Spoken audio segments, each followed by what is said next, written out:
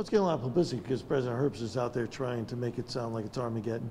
And, you know, the truth of the matter is, is that, you know, this issue of $200 million she can't absorb. She doesn't want to, but she can. And look, if she has a solution, I'd like to hear her solution. Does she want to tax more people? Does she want to go after municipalities? Does she want to go after local education or social services? Because that's the only other areas that she can find the money. But if she wants to give me a solution, uh, Themis and I are open to it. And, the, and this budget is about choices, okay? That's part of the problem here.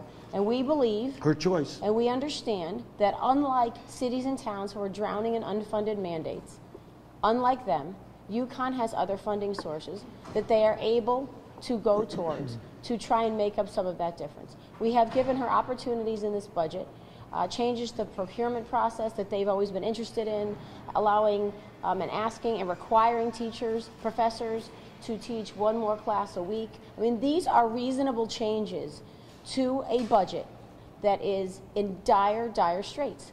And we have said from the beginning, no matter whose budget it is, these are tough choices. But we have to prioritize. Do you want to take from elderly and children and social services and the disabled and nonprofits? We all have to take a little bit of a hit here.